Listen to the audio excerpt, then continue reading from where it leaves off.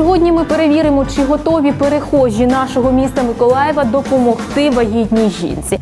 Починаємо з підземного переходу. Поки що спускаюся сама. Охочих допомогти небагато. Лише ця жінка.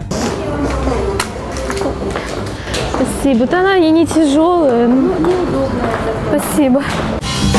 Проходять повз мене люди і увагу звертають навіть, та чомусь не допомагають, лише оминають. Виходимо на вулицю. Початок непоганий. Чоловік допомагає. Спасибо. Было бы неплохо. Туда, до, до ступенек, да. Спасибо. Та невже це все? Невже більше не допоможуть? Адже мене як наче і не бачать. Чоловіки, ви що? А допомогти? Вам далеко? До серой машины. Она вроде бы не тяжелая, но мне очень тяжело.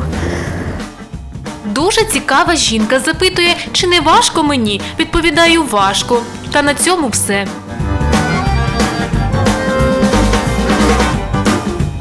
Невже більше ніхто не допоможе?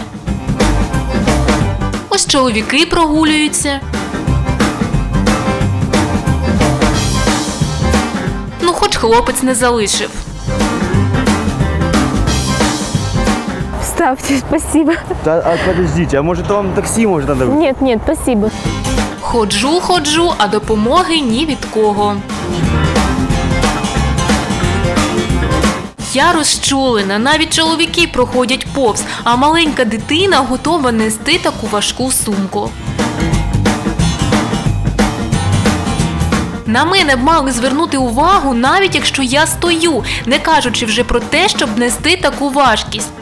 Чоловіки тільки можуть дивитися і співчувати, не більше. Ми знімали експеримент три години, але мені допомогло лише п'ятеро людей. Я в шоці. Чоловіки все, що завгодно ладні нести, тільки не важку сумку вагітної. Я розчарована. Чоловіки, де ж ви?